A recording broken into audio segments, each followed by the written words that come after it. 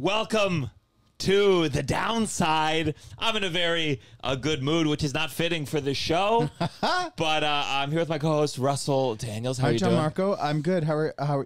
I we had a we great saw night. each other less than 12 hours ago. Yes, yeah. It was. Uh, well, not less than, but yeah.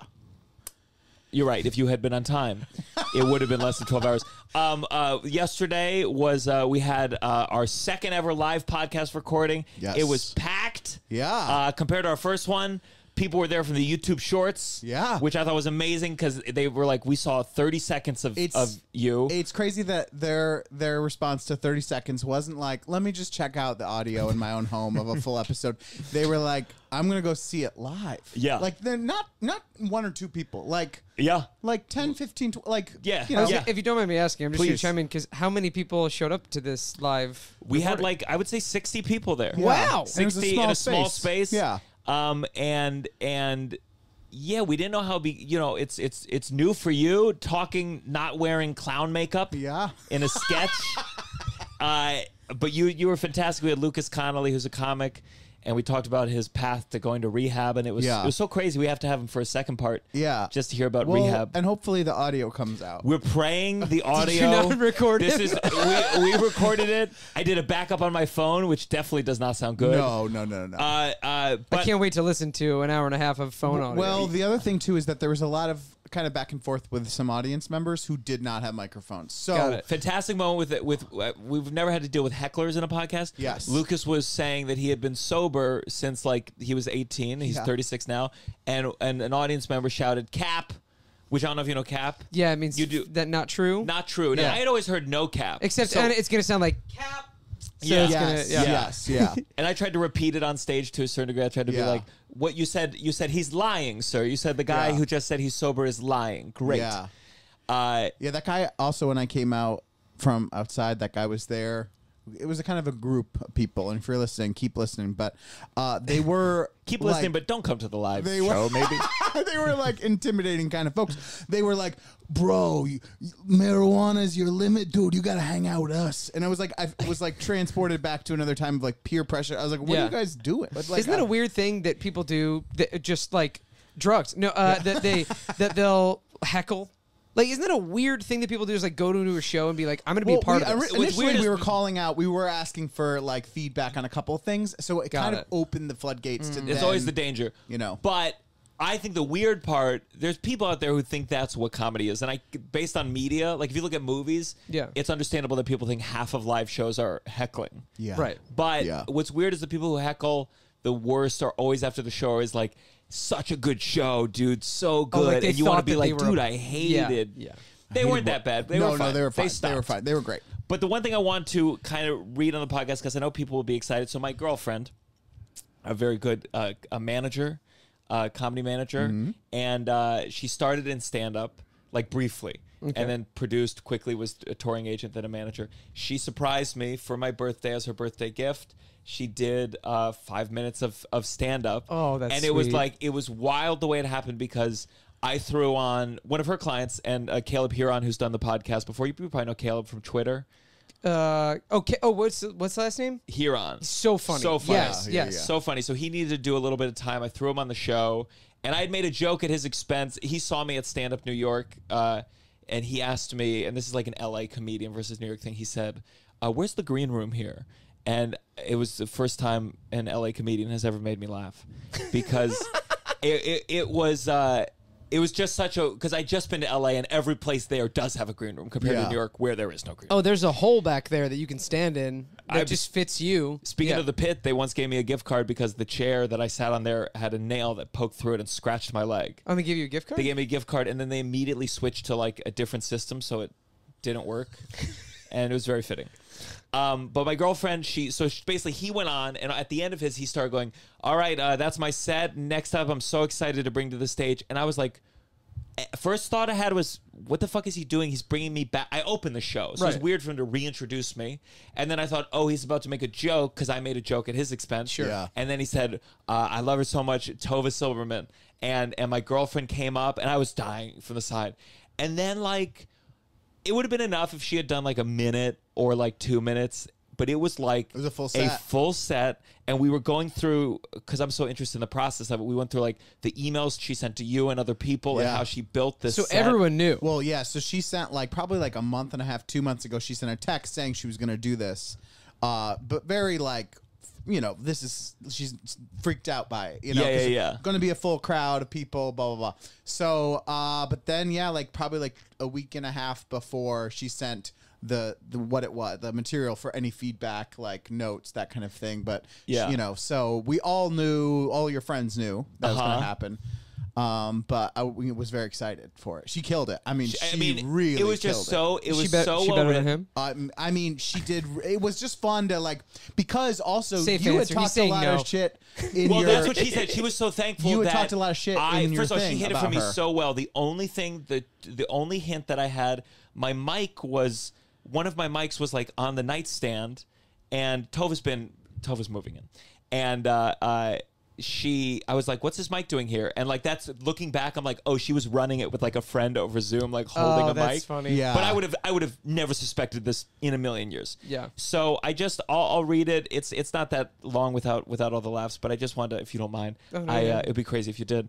Uh, He's Yeah, like, I came out here. I'm like, you know what? I don't want. I No. don't. Yeah. so so so yes, luckily in my big opening I did talk about her, which set her up as like a character, and I Yeah. said some shitty things. No, and it was good. It was actually perfect because I didn't know you were going to talk that much about her, and I was like, because her whole thing's about you. So I was like, Yeah. this is perfect. So you we're, know? I'll probably post some clips from it. I got to get Tova's approval. Yeah. Uh, but so she came up. Again, I'm shocked.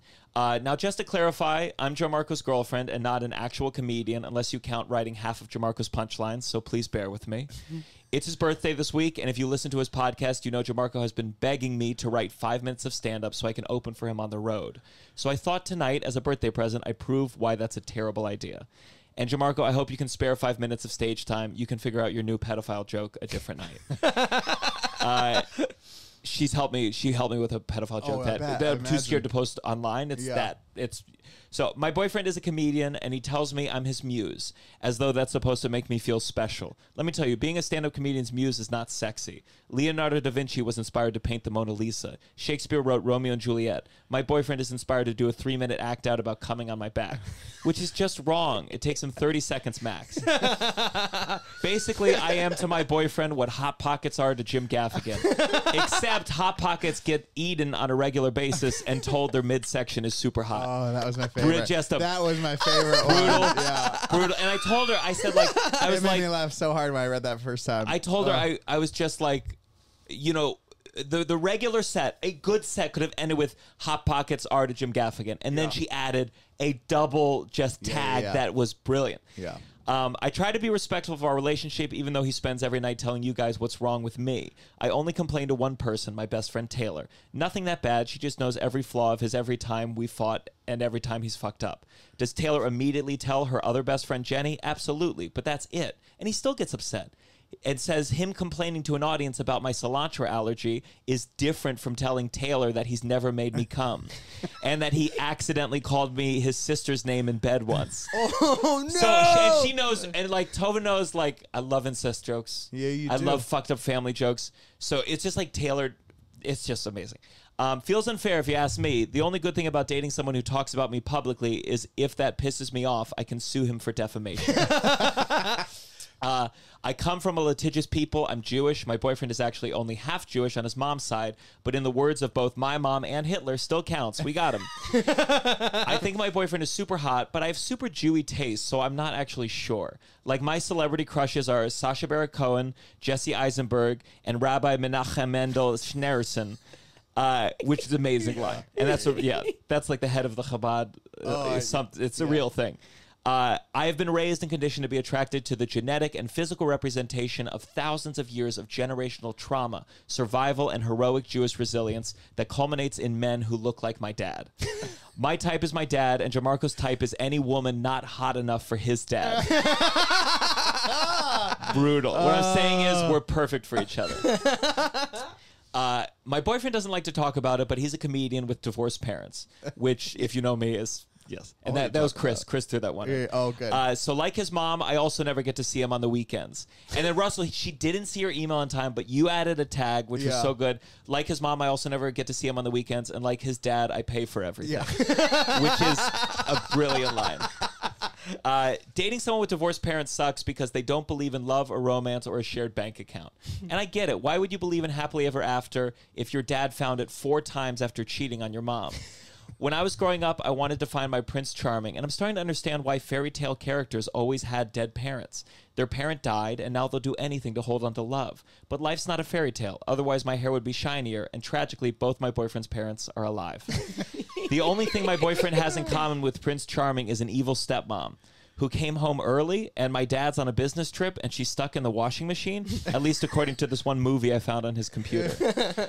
I've been talking a lot of shit, but one of the things I love about my boyfriend is that he's not into sports. He's a soft, artsy boy. A lot of people actually think he's gay because he's effeminate, into musical theater, and not attracted to me. The trade-off the trade-off is that he's also not that handy around the house. He can't hang up art or fix my sink. If he wants to hit me, he has to hire a TaskRabbit. TaskRabbit is what I call my vibrator, by the way. And while he can't put up shelves, he does put up with me. Happy birthday, Gianmarco. I love you, and please don't make me do stand-up again. She killed So- it. Really Well funny. just a killer, Tova. Wow. killer, killer set.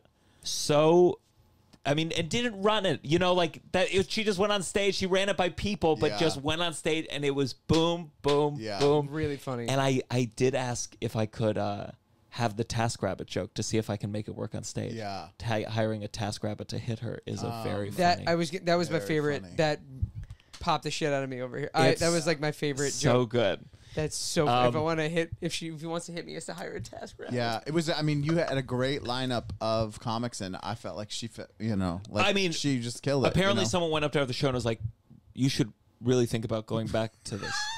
I mean, really, like, I, I, you know, would interfere with her her work. Yeah, we had. But- I don't think I was speaking on here, but we were talking to one of her clients, and I was like, I wanted to do stand up, and he said, uh, you know, personally, would love that for you. As a client, that'd make me pretty uncomfortable to have her calling her clients like, hey, can I run this joke by you real quick? Does this work as an opener?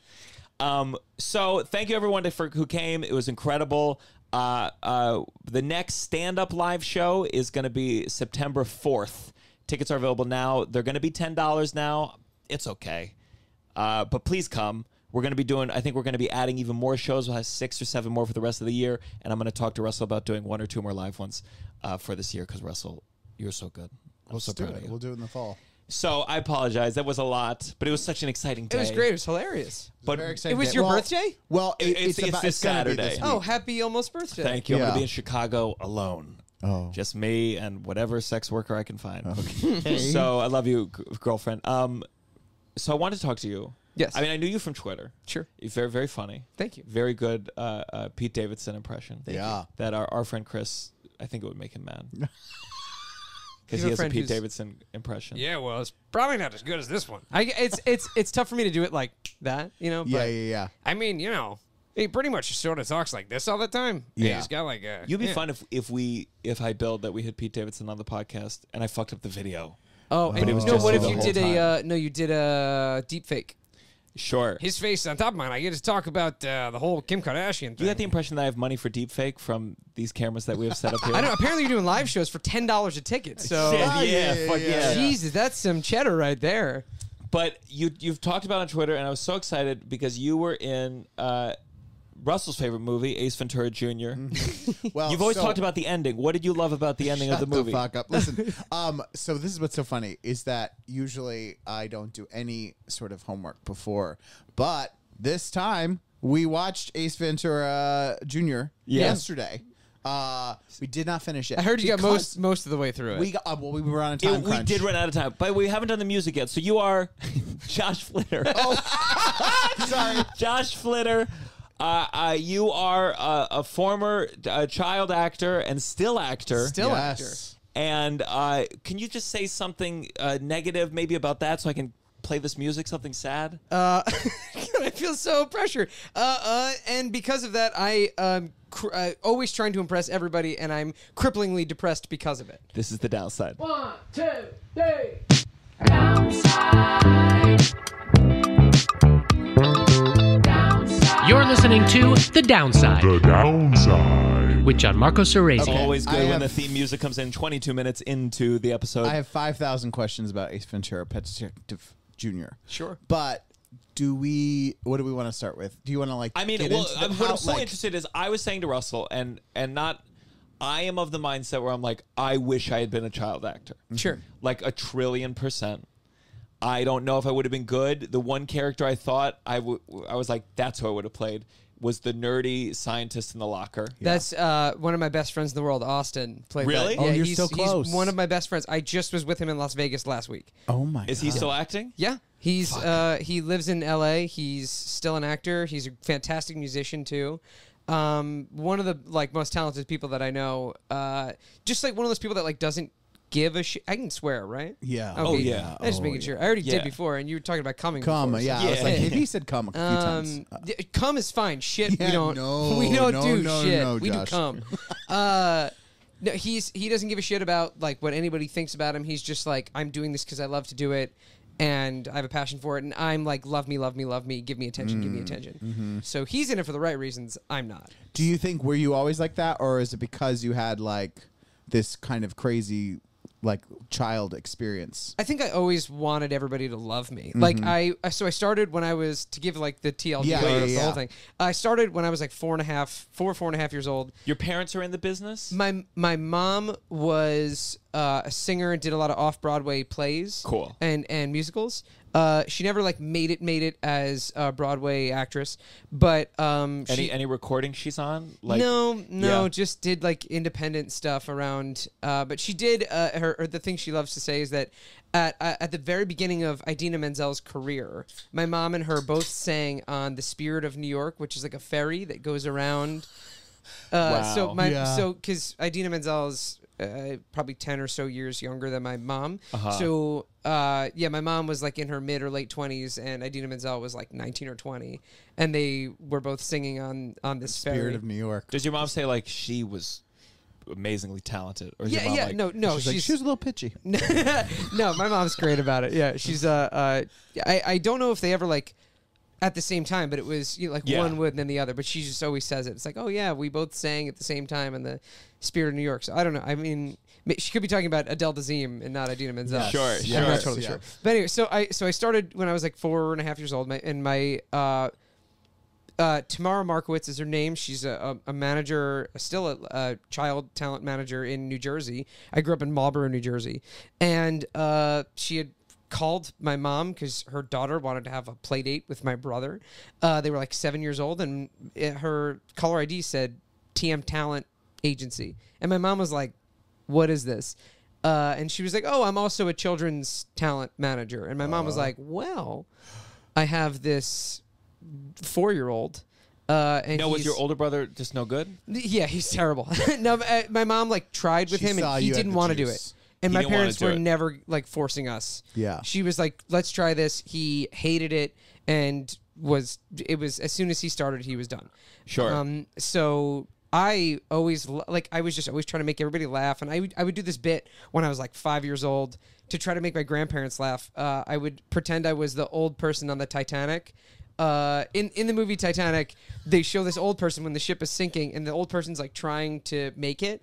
And they have like a walker, and I would do this impression of this person to crack my grandparents up. I'd be like, "Oh no, I'm gonna die!" I was like five years old. That's a really dark bit. For, Yeah, yeah, yeah. For a five year old. Yeah. So uh, I always wanted to be silly and, and make people laugh. Did your and- grandparents like it? Or did they go, "What the fuck"? no, oh, they loved it. They were all Jewish grandparents. They were like, this is Yeah. great. This is amazing. Um, everything I did to them was great and amazing. Sure, sure. Um, but that was also objectively amazing. I think you could do the character now. I can do it right now. Oh, I'm gonna fucking die, and then it's killing its shows. Oh my god, do that. Um, so uh, my mom brought me over, and and Tamara was like, he's hilarious and adorable, and I'm a very short person, and at the time I was really tiny for a five year old, uh, or four year old, whatever, and uh, she was like, he could easily book like two year old roles where they need That's like so funny. Two-year-old rolls with a four-year-olds. four-year-old brain. yeah, because you can You talk know, to were a four year old. yeah, that's so funny. That Yeah. they're That's like, so funny that like now I'm like you know like 25 sometimes, you know, if I shave 25, but to be like four, you could play two. Four yeah, to oh like yeah, two. two, yeah. Cut it in half. And You the know, two year old's like, you know, he's fucking ancient. Yeah. I was there with a cigarette, like Yeah. I've been around this bitch for so long. Uh, so I I w- started working immediately. I was booking commercials left and right just because I loved doing it, and I, I was a ham in the room. Did you now? uh, Did your parents have like good money, or did this change the game? Like, were you the breadwinner in the family? No, they did. They my my mom was. Uh, she wasn't my manager or anything. She just traveled with me, and my dad had a, a good job that he could just.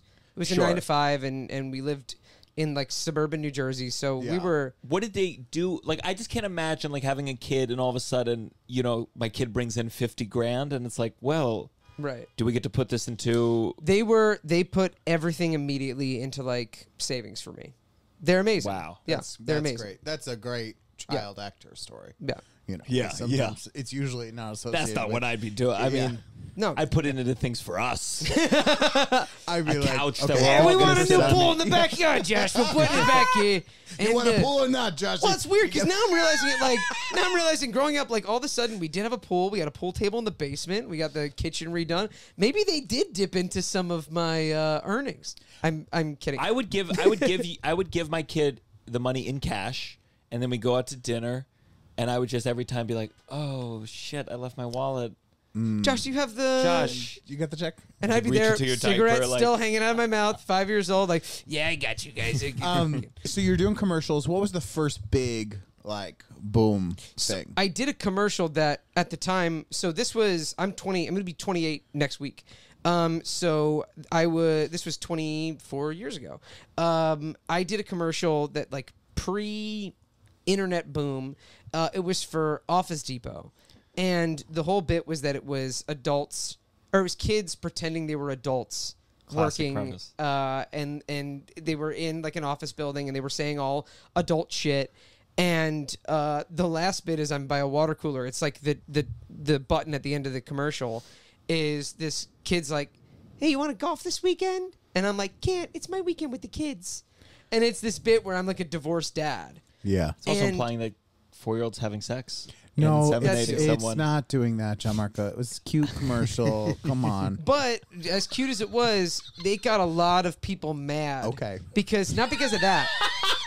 Why? What was the thing? because it was like, oh, we're making a joke about like divorced parents and they're dreading spending time with their kids and we're having Oh kids God! do Imagine this. getting mad about that in 1990, whatever. Yeah, this was like can you imagine, 1999 or oh, the things 2000. we get mad about. That's why when people get mad at things, I don't know how they don't look at history and go like, "Oh, I'm gonna look like an idiot in Yeah, 20 years. yeah. I'm gonna look like such a fucking loser." Yeah. Well, no one's one knew about it until Mad right- about Aunt Jemima Yeah, yeah, yeah. syrup. You know what I mean? Like, like it, it's so stupid. The things we get mad about. and Um, no one's gonna know about it until I just brought it up now. So now those people, if they are watching this, are gonna be like, Yeah, yeah, yeah. Yeah. "I thought everyone forgot about that. I got We mad have at a lot of Yeah. 60 year old listeners. Yeah. Yeah. But So- the, the, the first the first movie role that I did, if that's what you were asking, unless you had Well, another like, question yeah. about I mean, it. that's a big, you know. But yeah, first, like, whoa, whoa, whoa, we're up the game. You know. like Um, we're- I did a, a small part in Eternal Sunshine of the Spotless Mind. oh. Well, can I say that's what I looked at at your filmography, and I feel like maybe this is like a child actor thing. It's just like wild the different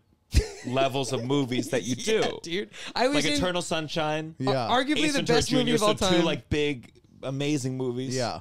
and then all these. str- It's just like a wide gamut of things. no, I was in arguably the greatest movie of all time with Eternal Sunshine of the Spotless Mind. It's always put in the list of like top ten. One of and then I was it? in Yeah. Oh yeah. yeah. Greatest. and then I was in the greatest movie of all time, which is Ace Ventura Jr. Ace Ventura Yeah, yeah, Jr. yeah. Uh, Who and did, did Charlie Kaufman direct Eternal Sunshine? he did? Yeah. Or He no? did. Uh, oh shit. Or is it Michael uh, Gondry? Uh, Gondry. It was Gondry. Okay. Yeah.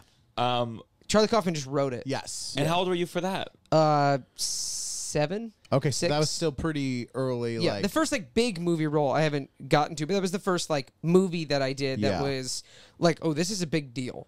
Uh-huh. Uh, it was one You're scene. seven. That's crazy. Yeah. It, Yeah. it was it was super fun, and I, I do remember your question or your question about like wanting to be a child actor because we're gonna get to that. Yeah, because I really listen, and I've seen uh we've talked about for the Hollywood complex, maybe it's called. It's a documentary God. on Amazon. It's about like the there's some uh, hotel or condo that all these kids with their parents go for like pilot.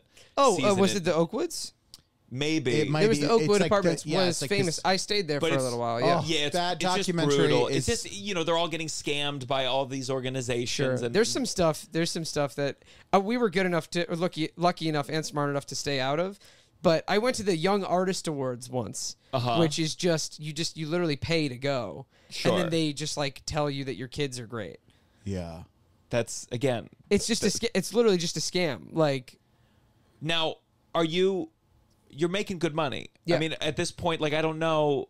I mean, if whether child actors have like a really good rate, or whether you're all just working scale. Well, it used to be so in the early 2000s. It was it wasn't like it is now. Now they're like, oh, we could just hire some kid off TikTok and pay him 500 bucks and buy him out for a commercial. Back then, you were like making money. Like Mm. it was you were your agents would be like, hey, you want my client for this commercial? He's like the most sought after client uh, for like commercials right now. You're gonna pay him, and you're gonna pay him good. Yeah. And they were like, yeah, absolutely. Like it'd be like, oh, we're Geico. We have that money. You know? Yeah, yeah, yeah. I had a friend who did a commercial. I don't want to. Uh, I never did a Geico commercial, and they probably are good people. I don't want to fucking badmouth anybody. They're definitely Geico- not good people. The- I mean, the casting, the the the casting people, I'm sure are wonderful. yeah. Um, but uh, I had a friend do a commercial for a huge, huge company last year, uh-huh. and he got paid like a scale rate, and then was bought out.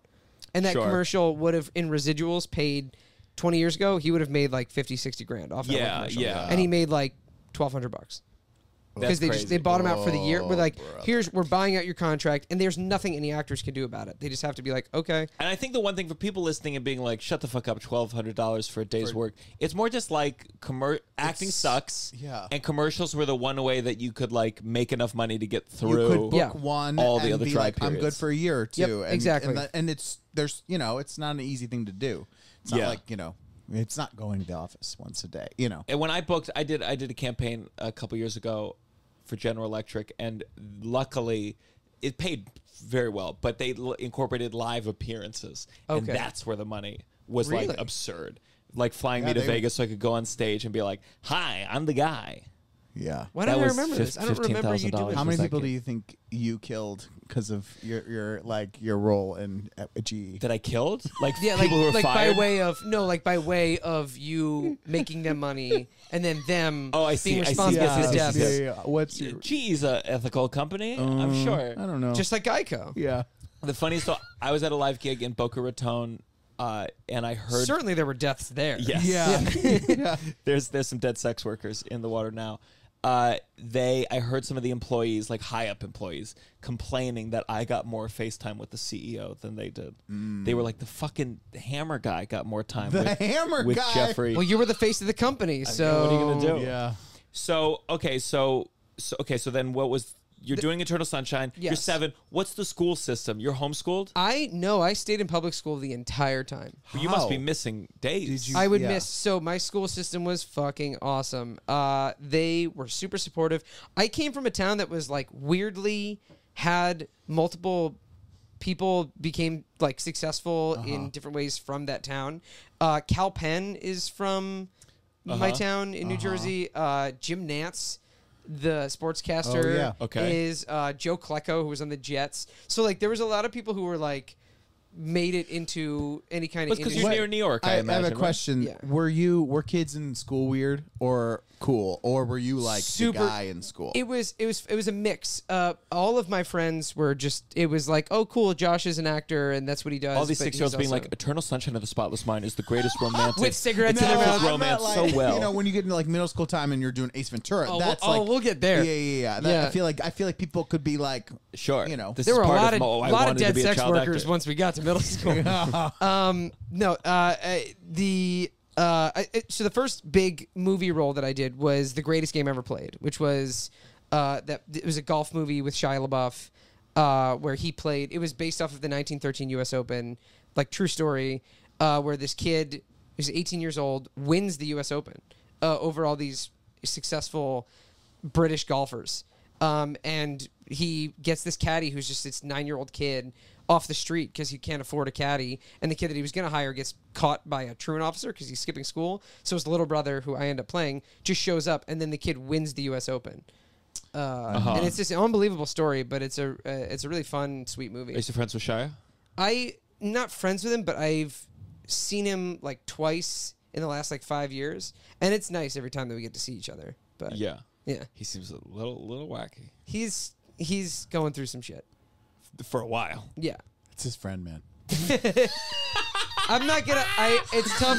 It's tough to like. no, I'm not sit- trying yeah, to No, get you I to talk know, shit no, about no, no, Shia. yeah, yeah. We all know. Uh, Well, I yeah, mean- it's very public and Yeah, and, yeah, yeah. Uh, but what I will say about him that's like I'm not making excuses by any means because some of the shit that's uh, alleged is not good, but the guy's a troubled guy. Like he's just Yeah. had like a really troubled child. I mean, did you guys see Honey Boy?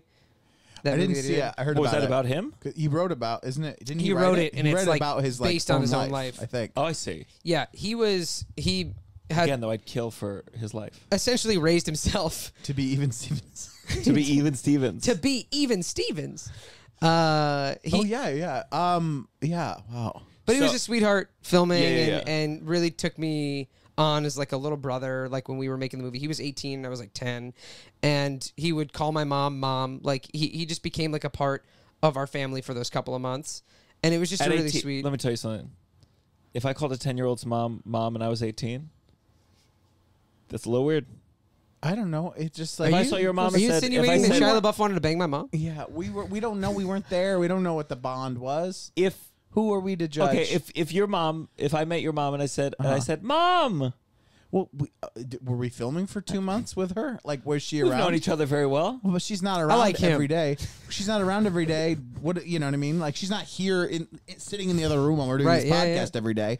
And then like You're getting saying us then- things. then it his would- then mom, you wouldn't his find it mom was weird? probably doing nice things for Shia LaBeouf. She probably was like She was like- wonderful. She was probably like bringing him water once in a while. Like Sure. you know, Yeah, like sure. She like would give him advice because he would Bring him be stupid water. shit. I know, he clearly needed like a parental things, and he has good parents. So I, I don't think it's the craziest thing in Thank the you. world. I'm a big Thank Shia you. LaBeouf. Listen, great actor, great actor. Listen, So okay, so you did that big break, yes. and are you are you cool as a cucumber? Do you feel anxiety? Do you feel like are you like fuck? I got to get to the next No, level. I've literally thought I was the greatest person in the world.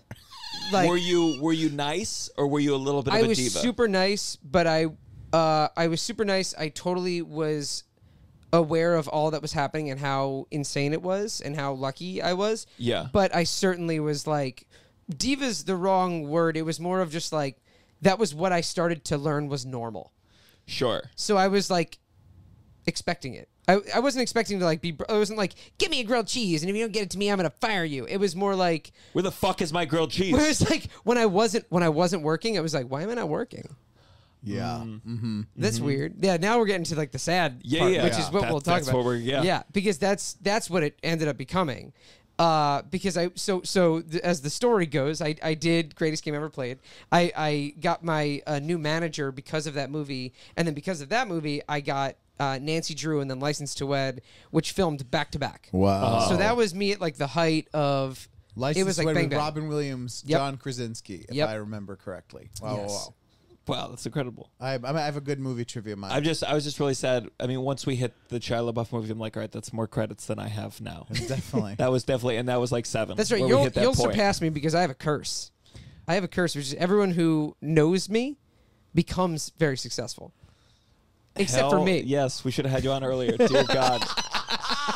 Um, so you're doing two movies back to back, Yes. and now now I'm 12 at this point. who's is a new manager at, like a big company? It's yeah, like- it was. Uh, he passed away, uh, and I'm no longer with that management company. But I was with them from like I was like 11 to like 15. I forget the name of it, but his name was Larry Bresner, and his partner at the company uh, managed Billy Crystal and Robin Williams and a bunch of these big Holy time. shit. And so I did Nancy Drew. The, the funny thing about Nancy Drew is that Jerry Weintraub, who has since passed away, also that's another curse is everyone who, all my connections die. Oh, So shit. we're not. You're, hope we you're going to become really successful and then die. and you're gonna die. Um, I'm not taking his phone number. it's going to be one of you. I called him earlier. He's fucked. Um, but so so I was on. Uh, Jay Leno wanted me on after watching Greatest Game Ever Played. He was like, "I love this kid. I want to have him on." So I did uh, uh, the Tonight Show. you did the Tonight Show? twice. Wow. How old is this? I was 11 when I did it the first time, and then 13. Who were the other guests when you were there? Both. Don Rickles. Don Rickles, fuck? did he roast Wow. He I, he called me a hockey puck backstage because I was like I had no I, I was love like that it wasn't for anyone. it was backstage. no I was with my parents and my dad was like can you call my son a hockey puck Oh, and he was like you're being a hockey puck whatever Yeah, yeah. and then uh uh yeah, he was like making Jewish jokes about me uh, he's also Sure. Jewish um and he was like he was like are you bar mitzvahed and I was like not yet Uh, I don't remember it was it was some Yeah, yeah, yeah. Yeah. but um that was the first time the second time was The Rock God damn, it's so cool. The Rock was promoting Doom So you both know The Rock. Yes, I do. You met. The Rock? He Yeah. saw me in a production of Hello Dolly, um, off, off, off Broadway at the University of Miami, where I went to college. why was he was he, He there went to college, college there, yeah so yeah he just happened to be there. I auditioned for Young Rock and I didn't get it, and I knew that because of he went to University of Miami, There which was in the script. um, yeah, and then we got into a bit of a Twitter beef. Did Uh, you? He he said something about showering three times a day. Oh, and I like quote tweeted, not him, just like the article being like, "This is kind of weird." Uh, something about he, how he was crazy. He said like, "I wake up every morning, I take a cold shower at five, regular shower at six thirty. Wait, I remember that. That was to you. That was in response to you. I remember when he tweeted that. he tweeted that, and then I Okay. tweet, I like quote tweeted the article with something, And then and then he all of a sudden I responded. noticed the tweet got all these like likes and retweets. Like, what's going on? And then I saw that he had replied to it. He said, "Shut up, and, bitch." And so I was getting it was the it was actually the kind of getting dragged that I didn't mind because people were writing me like, "Hey, Stinky, when you take Hey, a shower, Stinky." filthy, stinky neck. Remember when someone said you had like a stinky neck or And I was, something? I was just like, okay, I'll just sh- I'll just shower. I think the Rock stands are probably some of the most fun stands. Yeah, are. but a lot of stinky. You you you must smell like ass. Mm-hmm. And then like uh, I immediately backpedaled, and I think people like some people were like, "Look at this guy backpedaling," but people also were like, at this stinky People guy. understood like I had to. That's my only move. Yeah. If I'm fighting the Rock, I'm, I'm Yeah. getting on my knees. And then I wrote back like, "Hey, uh, Mr. Rock, uh, you saw me in uh, Miami." Rock. And then he wrote back, "It was like, oh, you know, my wana, some some term that means brother, and like, I love you, I love that show. You were so good." And we moved on. Oh my Thank God. amazing. so they're still cool. But uh, I have met Jay Leno too. Oh yeah. I did not do his show, but I met him at the Green Room in Flappers, a much less, a much less glamorous. The food cost money, but uh, and were you were you good at that too? Like you, Oh, yeah. you, Yeah. you had stories, and It, he just I did impressions because I was always doing impressions. did you the do time. him to his face? I to his did. I chin? did. He was like, he was like to his chin. He was like, "Like you do an impression of me," and I wasn't very good at. it. I did that. I was a little kid. I was like, "What? you do? Uh, we- we- uh, Good show." And I Yeah. did like because I was watching Family Guy a lot at the time. Uh-huh. There was a Family Guy bit that they made fun of Jay Leno where Seth MacFarlane just did him going like,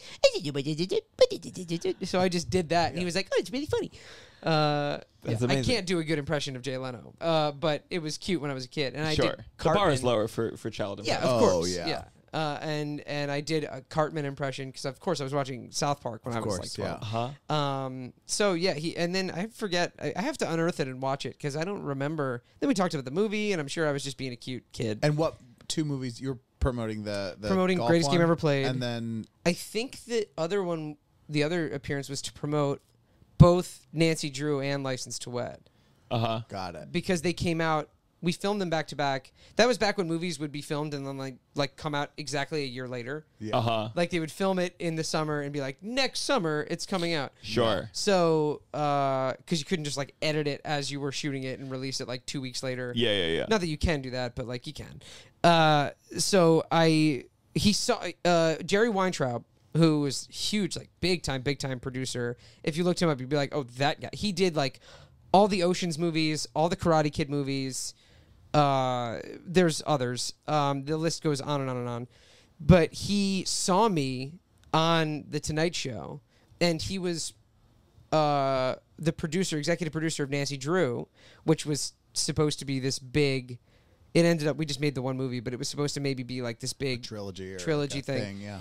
Um, and uh, he saw me and was like, "Yeah, I want that kid in this movie. We got to rewrite whatever that role is for this kid because he's so funny." So there was a role in the movie that I ended up playing that was re- that was written for like a 15 year old like skinny awkward kid that he was like just rewrite it for this kid. And he called me. I got on the phone with him and he's like this legendary producer and i'm like what's up? And he's like i want you in this movie. You want to do this movie? And i was like yeah he's like all right we're rewriting the role for you i was like okay So I went and I did the movie, and then I did. Uh, while I was doing that, I auditioned for License to Wed, and booked that as I was filming Nancy Drew. And I went home for like two weeks to New Jersey, came right back and filmed License to Wed. So it's all looking good. Yeah, it's Yeah. all looking. I'm, I'm waiting for the fall. Okay, and then is the, is Ace Ventura right after that? Ace Ventura, I auditioned for. Well, okay. So the interesting thing about Ace Ventura is that I didn't. I didn't audition for it. It was they came to me with this premise. They were like, "We have this idea." While I was filming License to Wed, they were like, "We have this idea for this Ace Ventura." Um, reboot kind of franchise new thing And you must have loved Ace Ventura. oh my god. we were god of the Yeah. age. Well, I was saying to Russell because there's a great documentary on Netflix. What is it called? It, Oh, it- the- it was the one basically about about, like the history of like trans performers throughout movie history. Sure. and kind of the the the rich history uh, or the fact that it's been there forever and the ways it was used, you know, portrayed in this horrible way. Uh, and then, and then just the ways that there's always been like an interest in in trans people, and they've Sure. always been a part of the entertainment. But there was this very intense moment where they uh, talk about Ace Ventura. Is it two? No, it's the first one. it's the first when he's First one. when he like There's something where he The kiss, he reveal. kisses a woman, and then they find out it's a trans woman essentially. Yeah. And he's like, "I kissed a man," and he like vomits and brushes his teeth And with everyone's like a throwing and up puts like a and- yeah, plunger, yeah. and people are throwing up. Yeah. And like. s- And I remember seeing it as a kid, and you know, just laughing along. Yeah. And they portray it as this moment of, especially some of these trans actors, like seeing it as as children or in their teens. Yeah. And just like it's so absurd. It's just wild how Yeah. how intense it feels. It's just so cruel. yeah. yeah But enough Uh, enough time had passed because I feel like it was Ace Ventura, Ace Ventura two, kind of like a few years apart, and then it's like so this is kind of like being Th- branded when did as a, when a did Ace reboot. Ventura two come out? Was it like ninety seven or It would be 98? funny Yeah. though if Ace Ventura Jr. had was like an incredibly transphobic movie. I didn't notice any of that when we watched it yesterday. No, Yes, we yes, really yeah. strayed There away was- from that. There was a meeting where they were like, There "Hey, was a scene, there was should a we be?" scene. And I was Yeah. like, "I don't think so." And they're like, "All right." yeah, you stood up for it. You Yeah. said that we're gonna fix this part. Um, but the, but so it's but t- enough time had passed, like over ten years or ten Yeah, years. so we about- shot it in 2006 or 2007. It came out in 2000. We either shot it in 06 or 07, came out in 08 or 09. I'm just Yeah. giving. and is it the same? I just want. I wish I could hear the phone call of them calling Jim Carrey and saying, "Could you just pop in for one scene?" Oh, it was so because what's so funny about this this movie is it's implied. uh, We assume he's alive at the end. that he's He's your dad. he oh he's my dad, but that he's missing. Missing. Yeah. missing. And the funniest is like your grandfather basically like tells you like you're you're a You're your a father, Ventura, You're a Ventura. And opens like a box where there's like a picture And it's of him of the holding back you, of him. and it's of of the head. back of his Like, head. that was the get- hair and makeup guy.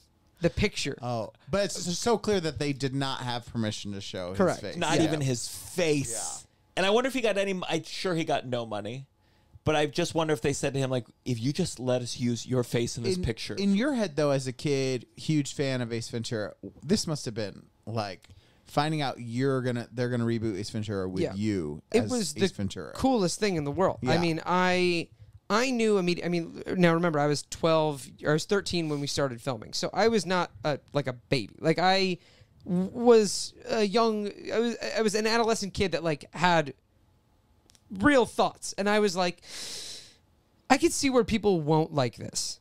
Like I could I could Uh-huh. see where it would go down wrong. Yeah. But I was like, but they'll understand that it's a kids movie and it's not for them. Yeah. Like Yeah. if I can understand that, they can understand that. Yeah. And you didn't think two men in their 30s would be watching it in 2022. well, it's I, I- Dissecting it. honestly, it's had this unbelievable resurgence uh, in my life. Like Yeah. in this really positive way because it was such a negative experience afterwards. Afterwards. Oh, was Filming it? was the best experience of my entire Yeah. life. I mean, you were the lead. I was the You're lead. I met And some they- of my best friends. Yeah, and they had you do. I mean, they exploited every talent you had. Yeah, like it was I- like gag after Yeah. gag. I wrote Gag. I wrote like half the lines in that movie. They Uh-huh. David Mickey Evans, who was the writer and director, wrote and directed The Sandlot. He Yeah. it was fantastic. Yeah. And he is so good with kids. And he would come to me and be like, This line's stupid. What do you think's funny? You're a kid. You should be you this movie's for your friends. What do you think's funny to say here? and I'd be like, well, I think if we say it like this, and he'd be like, all right, let's do a take with that. And so I That's amazing. I Yeah. would write so many lines in that movie just because I was having fun. Now, can I ask? Because we we noted it yesterday that there's a lot of jokes about you being a chubby kid Yeah. in that movie. When you were at that age, was there any like, "Oh, do I have to get stuck in the locker too? Or were you like, yeah? I thought in"? it was funny. I thought it was funny, but I definitely had like the deep rooted Yeah. Yeah. sadness of Sure. like I don't want to be the fat kid. I want to Yeah. be because like I would do that movie and then I would watch like whatever that what was that Jonas Brothers show that they had on TV? Was it just called the Jonas Brothers? Oh, Yeah, or think so. or or Sweet Life of Zach and Cody or whatever. And I'd watch these kids who were my peers and see how the girls would just like fawn over them. Yeah. Like, Uh-huh. oh, these are the heartthrobs. And I was like the funny fat kid. yeah. But I was like, but I'm funny, so it doesn't matter. Yeah. Sure. There just is a difference, like b- having been that age and uh, chubby. Um, there's a difference of like doing it, like, like it just feels different when a little kid's doing it than when like an, an adult is doing. it. Do you know what I mean? Like, there's just like like this thing where you can't separate fully, like like the kid, like as a kid, you're like, because I remember wanting to make those kind of jokes Yeah, and stuff, of and course. you do, but then also you're like. Uh, like there is something that I don't feel as insecure It's about fun. it now. it's fun. know? It's fun. I, I remember very vividly, like the feeling of, which I think uh, Bo Burnham perfectly had in eighth grade. I don't know if you've seen that movie. I did Oh, say yeah, eighth yeah, grade, yeah. yeah. uh, that feeling of like making a joke, having everybody laugh, like you're at a party, like a pool party or something, and then as soon as you think like everyone's got you, then they like all turn towards this other person who's like the attractive one that they Sure. all really want. And then you're left sitting there being like, I just embarrassed myself Yeah. for this joke. in hopes that this would then get like lead to something, you know. yeah, like some substance. Yeah. But it was like, oh no, they just want me to Just a quick distraction. be funny. Yeah. Yeah.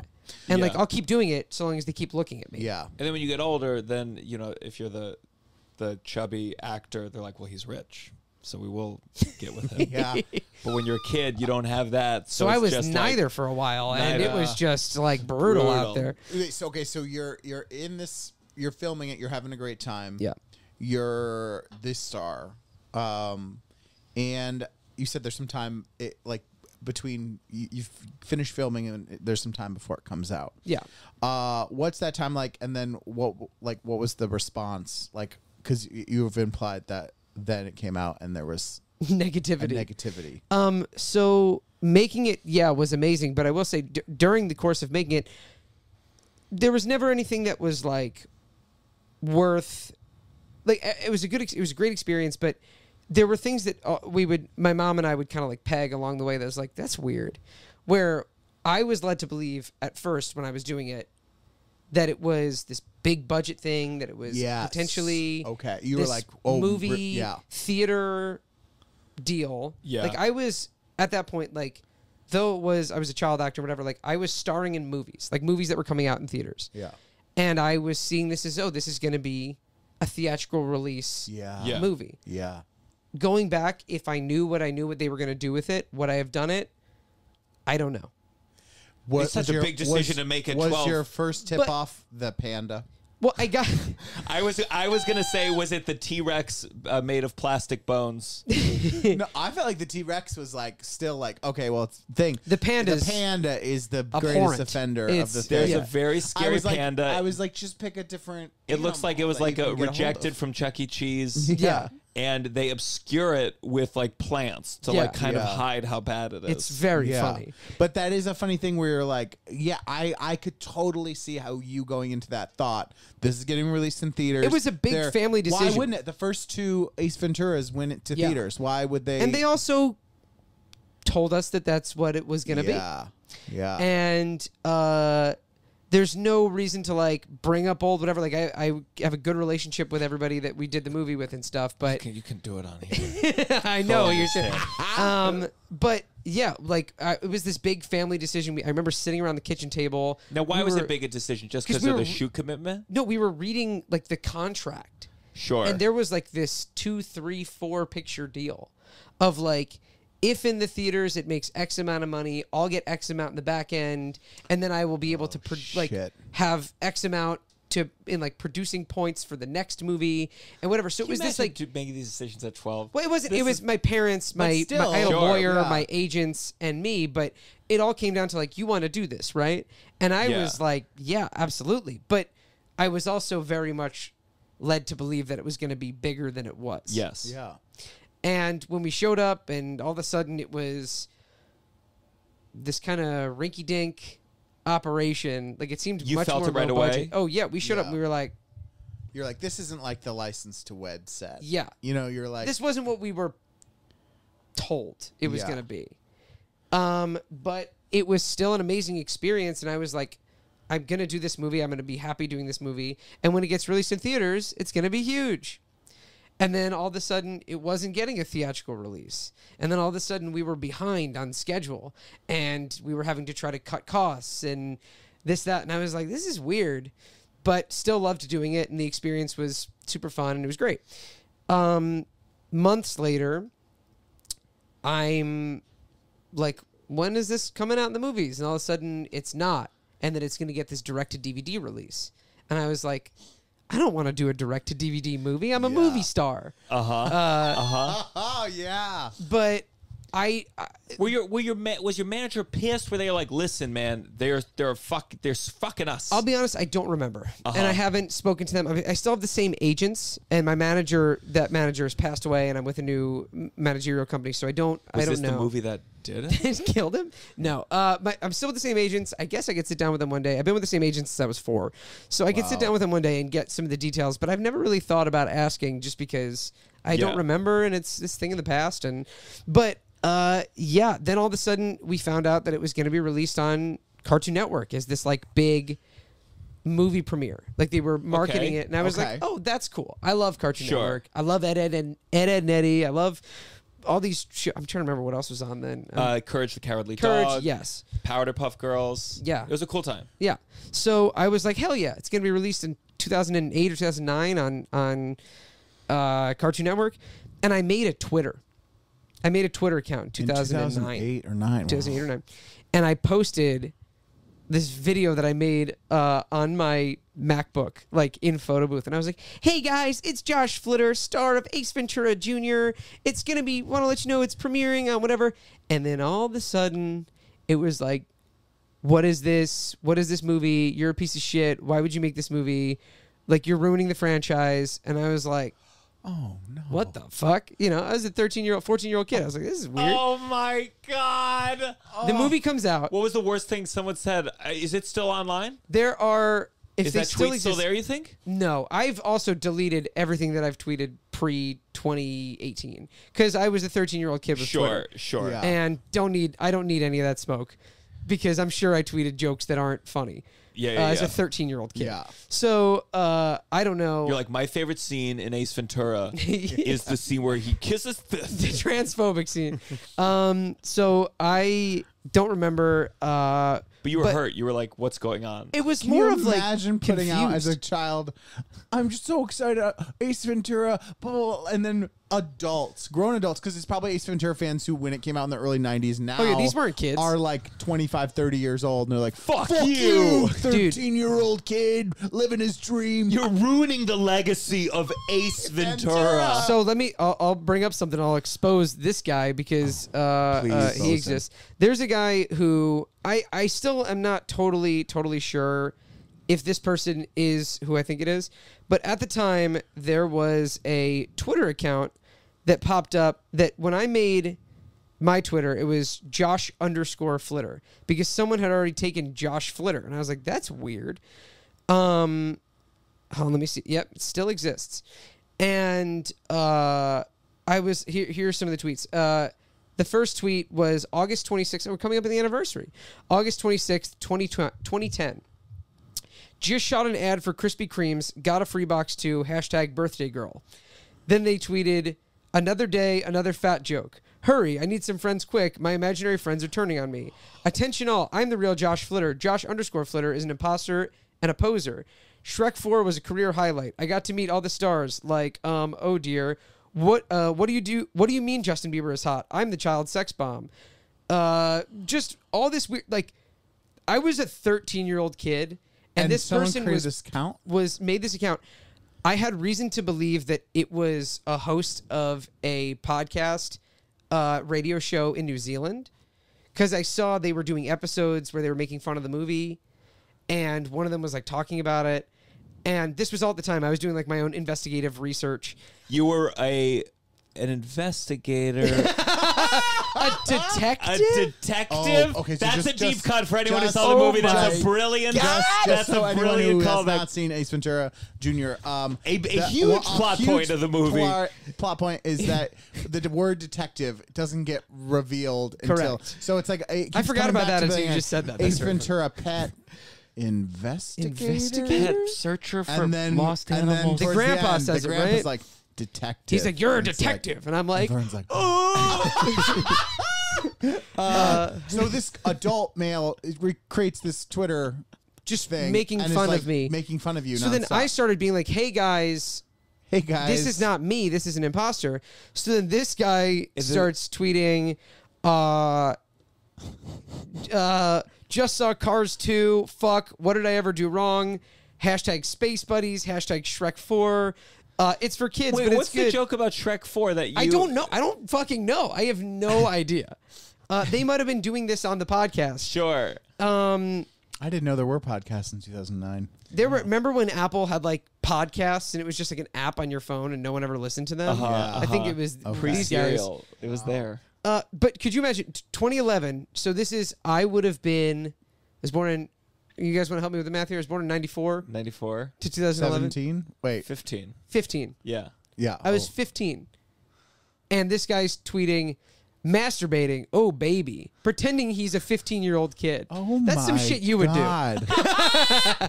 Oh my But god. like, it's just, it was weird. It was objectively weird. And How many is, are, is it getting a big response or like no? one's really Uh, they that? no, no one's really following it. Uh, I don't know. But it's a weird thing for you to be like, who? Why is this person doing this? Yeah, and I- and and that's where I started being like, "That's weird." I thought people liked me, yeah. Uh-huh. and then I would go on IMDb message boards. Oh no, Oh, boy. Josh. No, don't do that. Josh. I think they've since gotten rid of them because they were too toxic. what would were they really going after you or oh, like yeah, who el- it was are like there- this are there fat reg- fucking cunt doing this movie. This piece of shit little fuckface ruined the franchise, and I'm like a 14 year old in my room, like reading this, like, oh, they're talking about me. Oh, I'm ruining their favorite movie. Oh my god. Yeah. I can't Who's I going- cannot connect to people who are like you've ruined this thing with a TV movie. Just go watch the movie you like. weird. I It's don't weird. understand what what happens to guys. But my 'Cause favorite it's guys. my favorite thing it's guys. is that I have taken the power back now. I have it. It's my movie now. Like now. And I make fun of it so much and I'm so proud of the silliness of it. And I've gotten this success on Twitter. There's a little bit of success, but through first doing impressions and stuff, and then these people followed me and were like, "Oh my god, you're the kid from Nancy Drew and License to Wed and Ace Ventura," and now I post all the shit making fun of the movie, and I get all the praise. Yeah. uh-huh. And all now these you people call yourself a fat fucking cunt. and I call myself I was a fat fucking cunt. How about that? Huh?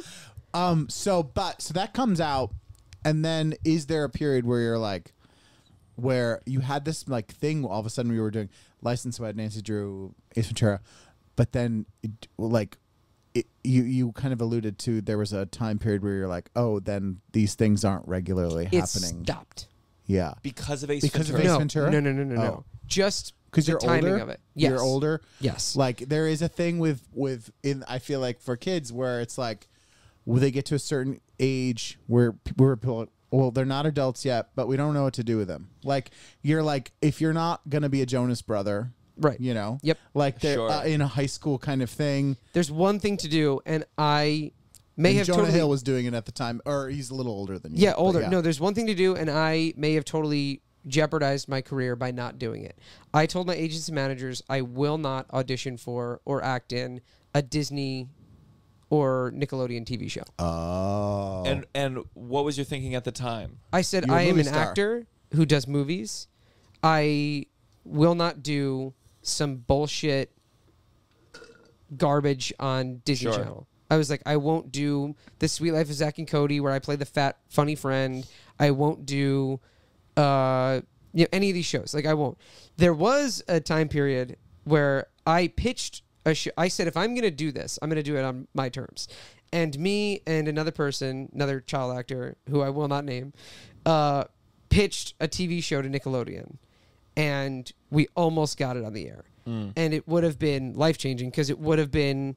It was right after Drake and Josh, and right before like iCarly, and it was this period of time where they didn't have like a buddy buddy comedy Sure. Mm-hmm. and we had pitched this idea for the show and due to insane circumstances about this person their family and a big fight that happened we never got the show on the air and we were very close Talk about two child stars, Drake and Josh, that went different different, Different- yeah, routes. different you know routes. about that, right?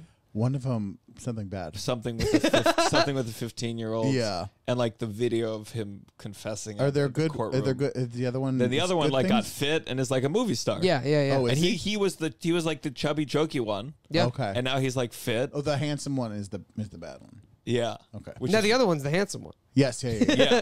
yeah. so so okay so around this time is it is it related i mean you said the nickelodeon thing is it also related to like did you start looking like super different? Like i mean this is around puberty. Yeah but i didn't i just got like like fatter and like worse looking uh uh for like as a child. Like Yeah. i i did not grow into myself as an adult now until i was like 22 so i did anyone say to you like here's here's hostess cupcake but just so you know don't eat you're it making a decision i had a problem with with food and with eating But I also, I mean, of course, you could be a chubby. I'm just saying, like, Yeah. how do you talk to? It, I think it's the same problem with like anyone in any part of the business. Yeah. Where if someone's like changing in a way where you're like, how do you talk to so? It's just a toxic business. It's really because toxic, It's, yeah. it's impossible to talk to someone whether they need to gain weight or lose Oh, I weight, knew- or, I or fix knew- their nose or do anything. If you know the truth, yeah that oh like i remember my grandfather was a true story some agent approached him and said i want to sign you but you have to get a nose job Yeah. and it's like that's a terrible thing to say but the agent might have also been correct at that time in Right. the industry right Yeah. and so like to say it to 16 it's just like well you might as well not say anything my, to a kid my agents to their credit to everyone no one ever told me you you need to do this like Uh-huh. you need to lose the weight because we need to gain more Right, right, right. Well, no, there was there was I had that thought where I was like I guess I have to be like the really fat kid that's just like there for specifically to like eat a cake and fall over. And remember hook the movie hook the roly poly kid I mean, dude, to think about it, the Yeah. fucking what's the kid uh the truffle shuffle? Oh, chunk. Uh, He's literally there to be fat. yeah.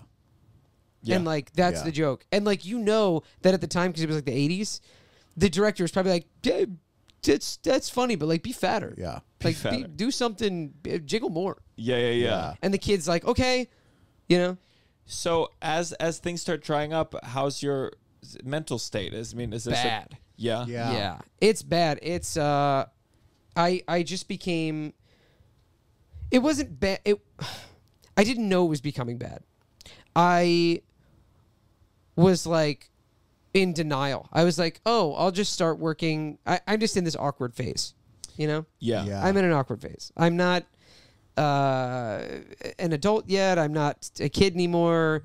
Everyone's, you know, the only people that work through this are like the Jonas Brothers. And I know I'm not that. So I'll start working again when I'm like 17, 18. I'll get Mm-hmm. all like the, like the Superbad movies because Yeah. at that time that was like my favorite movie in the world Yeah. Sure. Yeah. and yeah. I was like, yeah, I'll just be the like the Jonah Hill or the Michael Cera or whatever in those movies when I get to that age. And so I went all through high school being a former child actor that really wasn't working anymore. And I did a movie when I was 14 called Snowmen that was like this really indie low budget movie and it was really sweet but it didn't really go anywhere and then i was 15 16 17 18 and i just didn't work and i auditioned a ton but didn't book anything there was one point where i auditioned for uh, where i thought it was all going to change i auditioned for jj abrams for super 8 Uh huh. Oh. and uh, they ended up casting whoever else to play that role. Um, and I really thought I was like, I'm gonna get this. This is gonna be my career's back. I was like 16. And are you feeling anxiety? Like, how would you describe like this the feeling of not booking or like It's terrible. being so big, being on the Tonight Show? Yeah, yeah. I had And the in my my room in New Jersey. My door in my this town in New Jersey had like this welcome Josh Flitter to the Tonight Show. Like I took it off the door there and I put it on my door in New Jersey. And now I'm coming home from school doing math homework and walking in my room and it says the Tonight Show featuring Yeah, with Josh Flitter and I'm going in my room and I'm like every audition became the biggest thing in the world. Yeah. Yeah. I was like I need to book this and then I wasn't and it would just kind of make it worse and worse and worse. That And- bizarre thing too, from going from I'm on a movie set, they're like, "We're gonna offer you Ace Ventura. You don't have to audition, you know, or Yeah. we're rewriting this part for you, kid." Like it, that's such a mind like thing of like then being like, "I have to work so hard at this audition and, Yep. and put all your eggs in that basket." It's Yep. just like a crazy turnaround for a kid, especially. Oh, yeah. it's it's hard enough as an adult when those kind of things happen, but like as a kid, and I had it easy. I had it easy compared to so many kids that I know that are not in a good. I mean, Shia LaBeouf, he is the way he is because he's a product of the system of child actors, like in a negative way. And how so? Because he's had so much success. Like, which had way is it negative? He had. Uh, uh, you can't give a kid that much power. I mean, you look at, uh, at Justin Bieber, who now has seemingly come out on the other side and seems like a pretty good kid. But I mean, remember when he was like pissing in buckets and like whipping his uh, Ferrari around at like two in the morning, and everyone's like, "Fuck this kid, dude! He's 17 years old, and you're giving him all the fame and money in the world." yeah. you would do the same fucking thing. You know, You are would, Gianmarco, you know, yeah. yeah. like you're whipping a car around, no one's watching you. You're getting in an accident. You know, I wouldn't do the pissing in buckets. I could see like, I could see a video of me at 15 if I had been that successful, like being really rude to a waiter yeah, without hindsight, without Yeah. learning. but you don't know until you're there.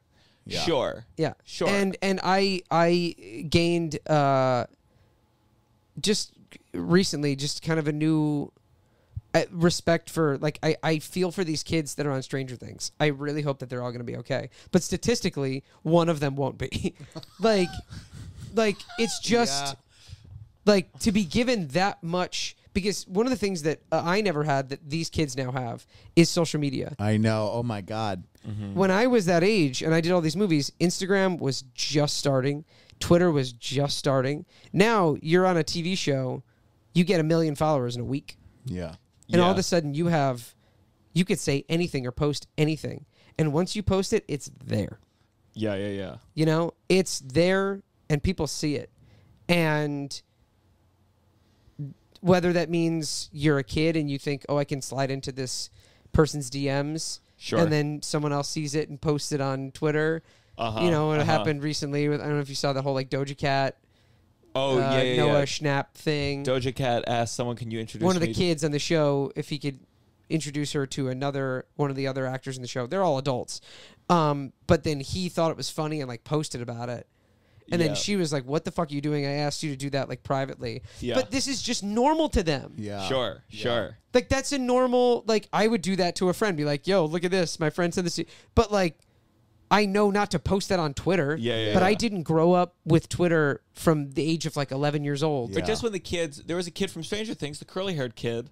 They announced like a Netflix show where he was gonna like punk prank show on blue collar workers or something. it was something where people were like, "What the fuck?" And I'm like, I'm like, his involvement in that idea was minimal. Right. He's being dragged. And even that- if it was maximum, even if he was like, I have this idea. yeah. He's a kid. He's a fucking. not He's, like funding it, yeah. 17 or 18. He's like, what if we give homeless people money, but it like it it disintegrates? And they're like, oh, we have Netflix is like, we have billions of dollars, and we're not going to tell this kid no because he Yeah, has yeah, yeah. billions of followers. So it's like, yeah, Gaten, do whatever the fuck you want. That's funny. Let's prank a homeless guy. Yeah. Like, do you think like you could talk to parents of child star? I mean, it seems like you have a good relationship with your parents. I do. I had a manager, my first manager. Uh, they represent a lot of kid actors, including one of the kids from Stranger Things. Now that you make me remember it, and then like they they all got older, and so they became a, an adult management company. Yeah. But I heard a couple stories from them, and it just sounded like it was so much about the parents. Yeah. It was like, were the parents cool? yeah. and they're really they're so much a part of the conversation. I think a big part of why I worked a lot when I did as a kid was because of m- my mom and uh, both my parents, but my mom traveled with me, and like we would, she and I would see other moms and kids and like make fun of them, like to ourselves. Yeah, yeah. Like we would bond over, like how fucking weird is this kid's mom? Yeah. Like these stage moms. I bet. yeah. Yeah. And then was there a period like because you, you you work now and you do you do voiceover and you act like was there I'm still not. I mean, I wish I was like working, working. well that's where I think that's what seems like the scariest to me is like you know what that level of success is I and always- thus you know when you're not in the conversation Yeah. at all I always made this joke uh, as a, as a kid or as like a young adult, where I would say to other kids, "Would be like, is fame like everything it's made out to be? Like, is it amazing?" I'm like, "Yeah, it is. It's like when you're a kid and you're like, what's in the teachers' lounge? You know, and you're like, I want to go in there. I went in there. yeah It was fucking awesome, and then they kicked me out, yeah and now I want to go back in, and it's that kind of thing. That's like the fame and success. Is it amazing? Yeah. Like anyone who says it's not, either they're not cut out for it or they're lying to sound humble. yeah Like it's objectively awesome. I went to uh, the Horton Hears a Who premiere because I was in Horton Hears a Who. Uh, and and Oakley made me a pair of sunglasses because I told them that I liked them. I was like, I like Oakley sunglasses. They made me a pair of sunglasses with whatever colors that I wanted and whatever. And it was the coolest fucking thing in the world. Like I went on Jimmy Kimmel and he gave me an iPod because he was like, I think you'll like this. It is. It is so obscene. It's so obscene, especially the free shit is so ob- insane. It's idiotic. It's so stupid. Uh, uh, Shia LaBeouf gave me an Xbox because he was like, I know you wanted one, so here it is. Like, Yeah. it, it's it's just like when you get to that level, it's just a, a love fest of. and all you think you're still chasing that, or do famous- you Oh think yeah, like, hundred million percent. yeah, Not because I don't love doing it. I'm doing it because I love to do it and I want to do it and I want to make people laugh and I want to.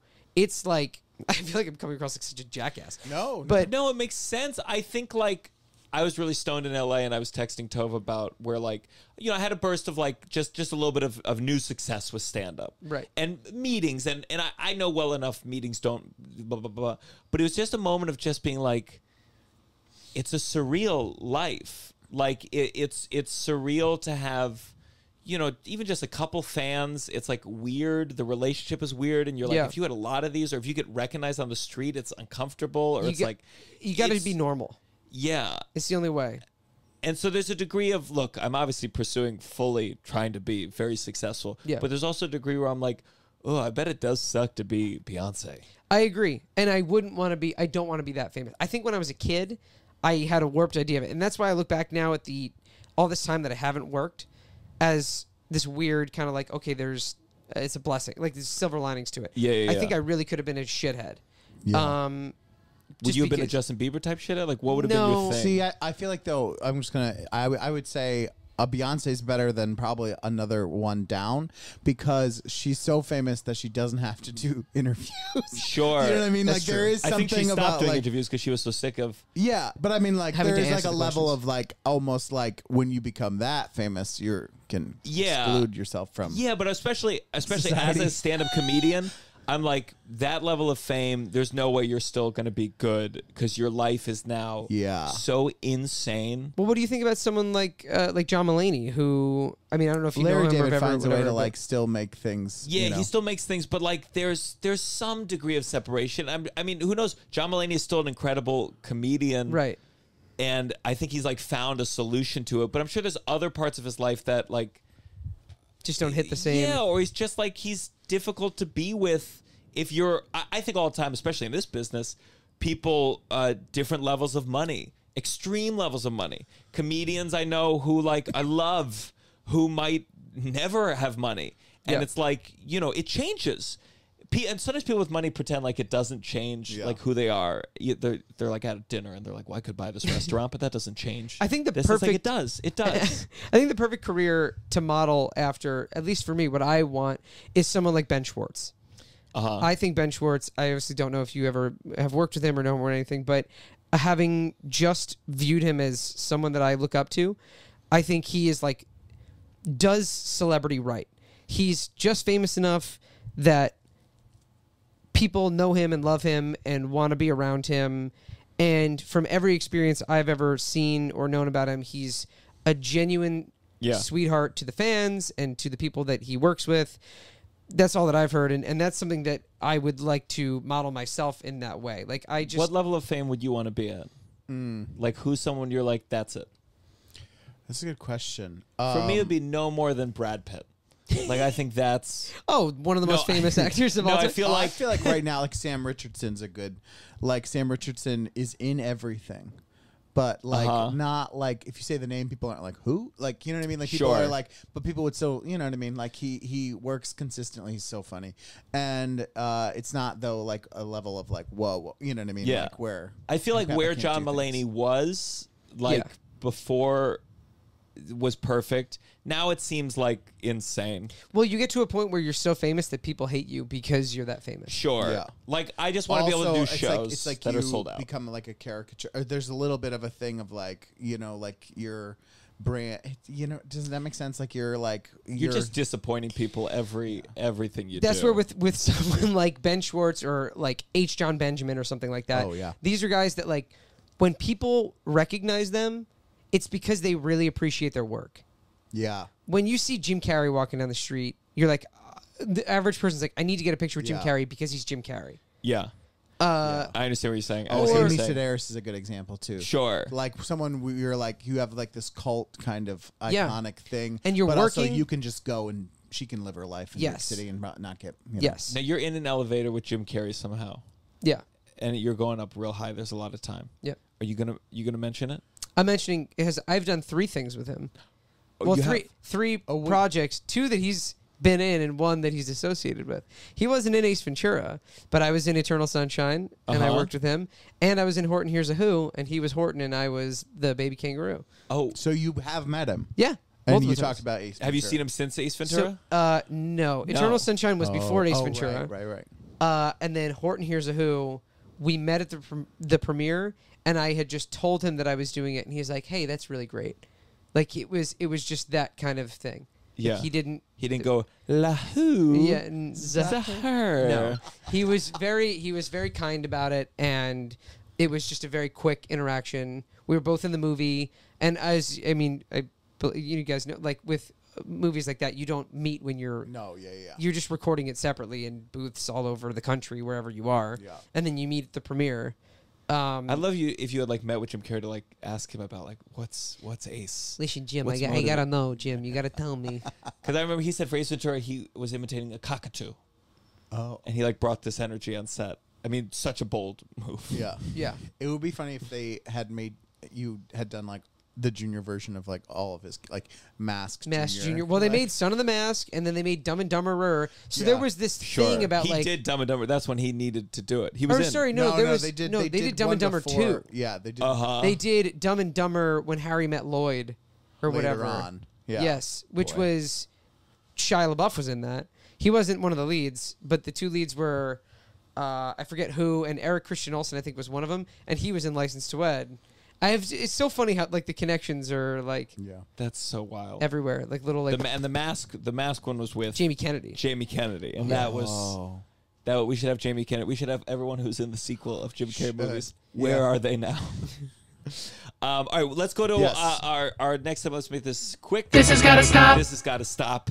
Oh, Do you have a thing? uh, It can be related to child acting. Could be related to acting. Related to nothing at all. it's related to nothing at all because they thought about it before I came. then here. tell me.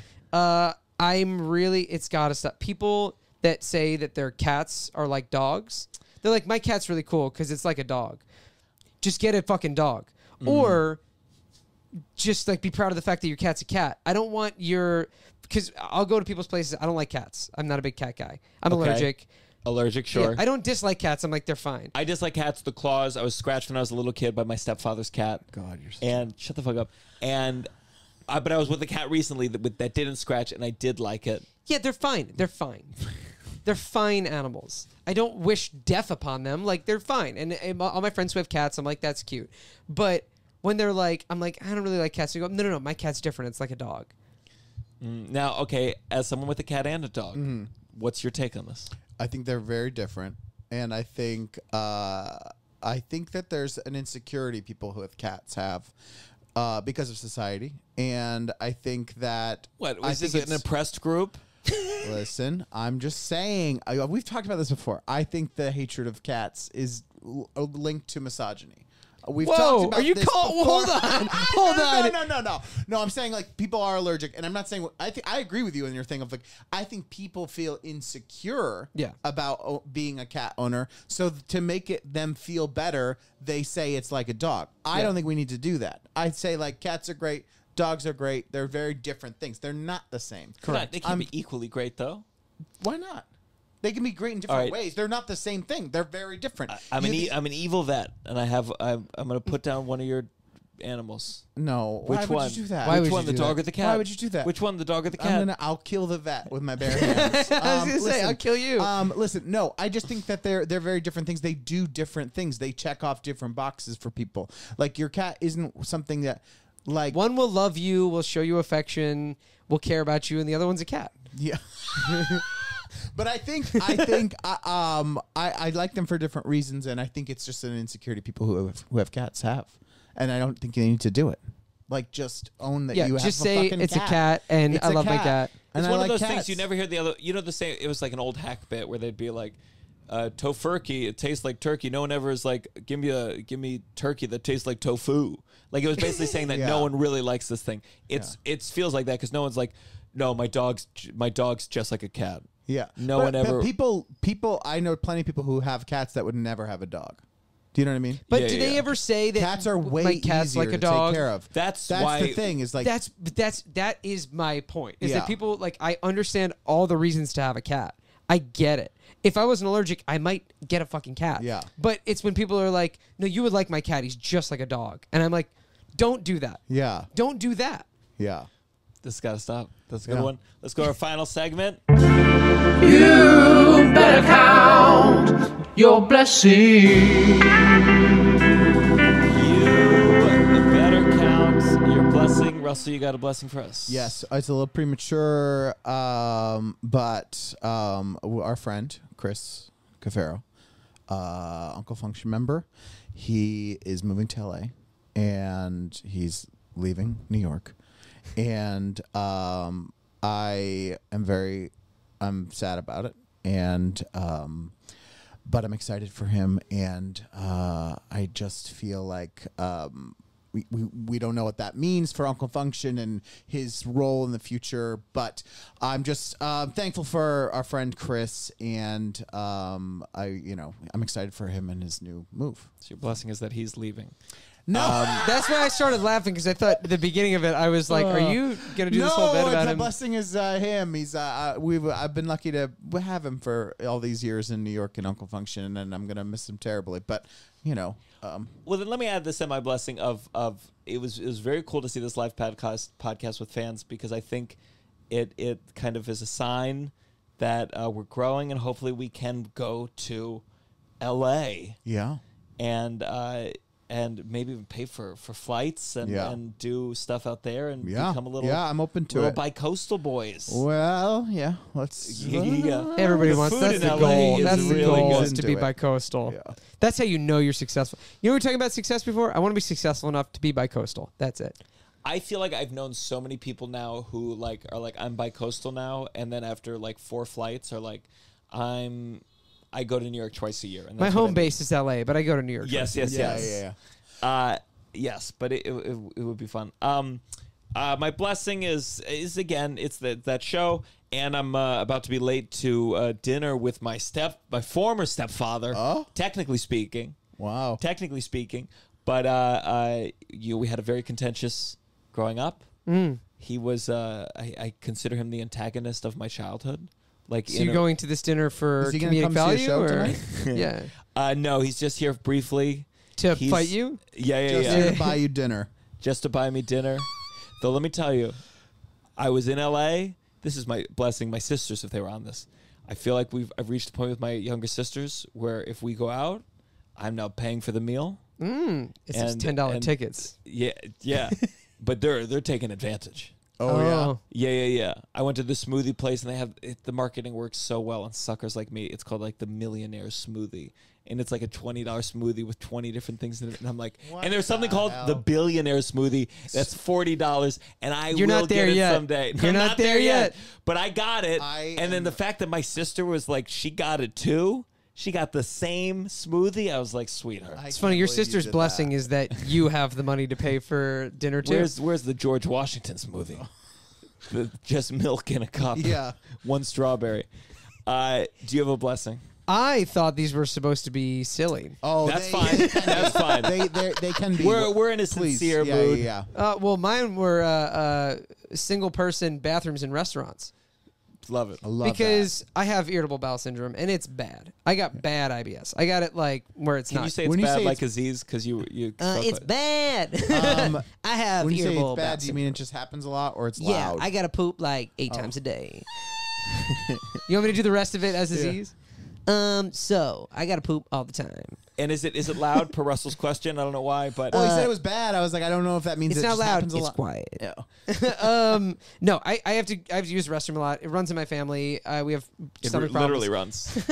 we have stomach problems in my family, and I think it is such a small effort that restaurants and bars can make to just have like a nice bathroom because it's so frequent that you walk into a place and you're like you're at a bar everyone's drinking everyone's eating terrible food people got to fucking shit so they go into the bathroom and you have these like terrible Yeah. like one piece of plywood that's just like the the space between it and the thing is like this big people can like fit their whole fist in there it's so easy to just like build a- a couple single person bathrooms that have a lock on the door.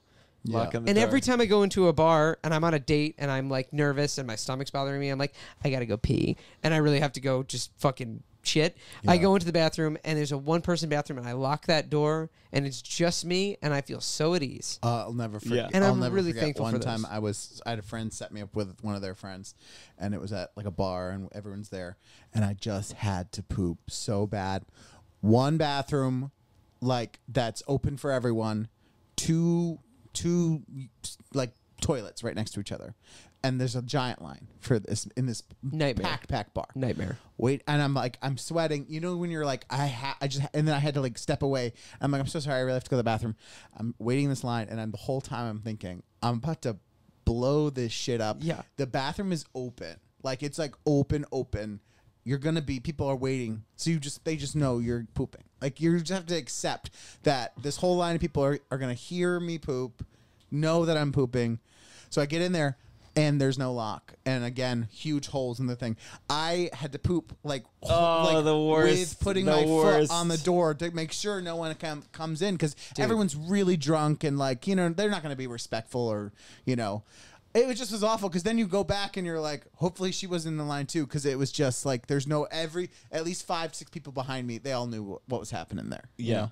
pooping And I've talked about in the story the data went on where I had to poop and we were we had left the restaurant. Yeah. So we just went door to door begging people if I could use their bathroom. Did you tell did you tell there your was date? there was no there was no choice Yeah. but to tell. I have a story for you that is way too long that I'm not going to tell you here, but I could tell you at some point or after. Yeah, that's yeah, yeah. Disgusting. That's to do with the date. That, It- we, we went into a bar and she bought a shot so I could use Poop. And the men's was like So it was use one of those you went in th- and it was like a mountain of wet toilet paper. So I then had to go in the women's restroom. Yep. And it was just she knew how long yeah it was. Brutal. Listen, I'm and a we need pooper. to destigmatize the the, the the embarrassment of shit. Like everyone's got to do it, and some people have to do it. It's very good. badly. I, It's a- I don't mind talking about it I, it's like the thing of like i i do still have a stigma of like people hearing it I will turn on the shower. Yep. I will Yeah. turn the Oh, shower. I'll do everything I can to to make it. Worse, I was at I was at a friend's house in second grade, and I would always want to hang out with this guy. His name was William Worthy, and some, I suddenly had to go to the bathroom, and like I went in the toilet, and I'm young, and I was constipated. I guess I felt like I had to go. Yeah, sure. And, like if I had the feeling now, if I recall correctly, I would just go about my day, and I'd be Yeah. like, oh, something. But I just, I just sat on the toilet yeah for until the end of the play date. yeah And like it was just like gradually, like 30 minutes in, it's like, okay, well, we're uh, not uh. gonna play the board game. And then he's just like waiting out there, and I'm like, I'm sorry. And I must have just stayed in the bathroom the whole play date. And finally, they called my parents, like, maybe you should pick him up. And I never shit the oh, whole time. And I can't even, and I never hung out with him again. Yeah. And I can't imagine. I should, I William should find Can I tell you in sounds like college, I one time went, went away with people I didn't know on like some conference thing, and the bathroom was super echoey in the hotel. Oh, no. Like you know, like you know when you get in there, you're like it's like it's, like it's so echoey. This is I can't. Believe. So I, w- I was like I have to poop and like ever and I was like one of those things where you're like come on well maybe you guys everyone like but there was like two other people in the room and also they weren't watching TV so I was like I was like want to put the TV on I'm like no we're gonna read and I was Dude. like come on No. so We're gonna read. so I was like, I We're went gonna in there- meditate. Do you know what I did? I was so nervous about the bull farts because I was like, it's so echoey in here. I took I took towels and like tried to like wrap them to like cover up any sort of noise from Wrap them- escaping. Like no, no, just like on the sides to try and muffle like if there creating a was sound studio. just so if there was a bowl fart, the towels would maybe absorb some of it, so it wouldn't be quite as loud. And I turned the sink on, and but there was no. What was so great about it is I did it, and I was like, okay, they may have heard something, blah blah, blah. and and I was like, but you know what? No, maybe they didn't. I'm sure they didn't care. An hour later, the another person went in and did it. Bull farts. It was like so loud. that I was like, oh, there's no way they didn't hear that from me. Do you know what I mean? I was like, it was like, mo- it was the loudest, Did most you know? echoey bathroom. uh, did you know you had like one big ball fart that was coming? I knew. You know when you can tell, like, But you- but I'm can saying- tell it 'cause was I have not a- going to be a quiet one. It was going to be like, yeah, because I've been holding it in so, So- long. but it was one that you knew was coming. at least one. Okay. Pro tip, small thing. It's such a simple thing. Just time that. Just flush. Oh, right as listen, you my release man, that I've first learned one. since those days. I That's do that what a lot I, had now. a, I I dated someone who was bulimic, and that's how they hid oh, their throwing God. up. Oh, pro tip. Well, we should pro tip. Okay. Um, all right, uh, uh, plugs. Plugs. This is coming out next Tuesday, so this is going to be uh, August 23rd. Anything you want to plug? Uh, okay, so two things. Uncle Function in New York City, Tuesday, September 13th at Asylum NYC. And then uh, Uncle Function in LA, Dynasty Typewriter, uh, September 20th, um, Tuesday, September 20th at uh, uh, with special guest Caleb Hearon. It's going to be a fun yes, show. very exciting. Yeah. Um, uh, for me, we, this is the day that something premieres that involves this Oh, podcast we can't that I say it still yet. can't talk about, but it's it's cool. Uh, you've you've seen it on my Instagram at this point. I think I can say it at this point because it's gonna be on today. yeah. Don't fucking tell a Don't tell anyone. I'm Josh. on the fucking podcast. down. All right, uh, this will be where we cut if I have to cut it out. Uh, uh, the downside is now doing a weekly live show with Amazon's new app. It's called AMP. You can download it on your phone. It's going to be uh, from four to five p uh, four to five EST Eastern Standard Time, four to five every Tuesday, uh, live with guests, and then. If you missed it or you want to hear it again, we are going to be uploading those episodes onto the Patreon. We're reactivating the Patreon, and you can get access to all the old episodes ad free, all the bonus episodes Russell and I did where we said stuff that it will get us in trouble someday.